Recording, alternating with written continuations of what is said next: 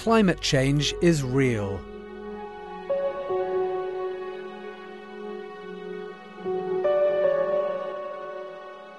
A changing global environment threatens the basic necessities of human survival, inflicting damage on the earth and its people, while limiting access to water, food, and education.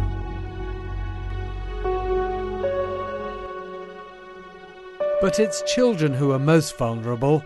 They will suffer first, they will be impacted most dramatically. But they are also the world's best hope to address these challenges in their own communities.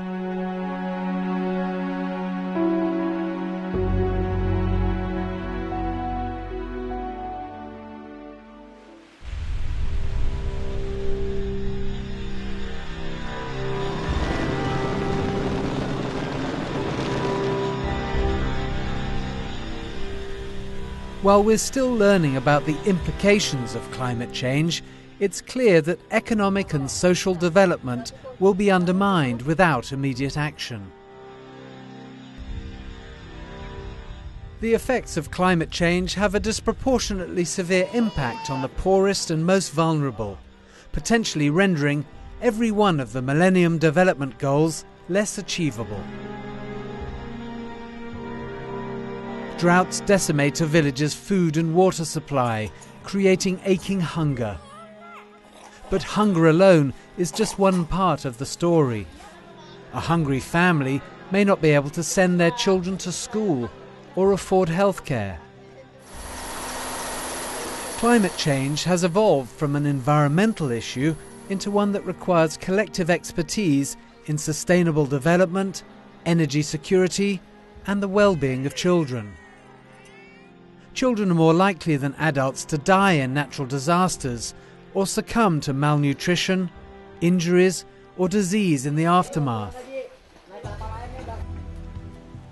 Protecting the environment while providing for the health and development of children are mutually inclusive goals.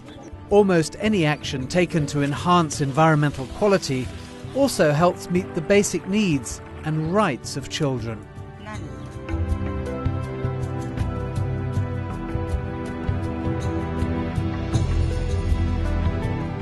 While many of the Earth's resources are threatened by climate change, one resource remains untapped the power of young people to affect change and reduce our carbon footprint.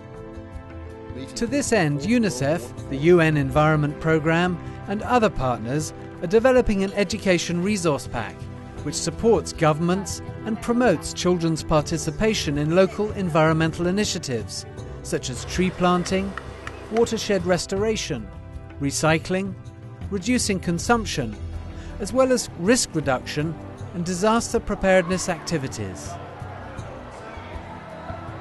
Reducing pollution, safeguarding education and health, preserving environmental diversity, protecting water supplies, increasing access to proper sanitation. What is good for children is also good for the planet. By helping children, we help ourselves today and our world tomorrow.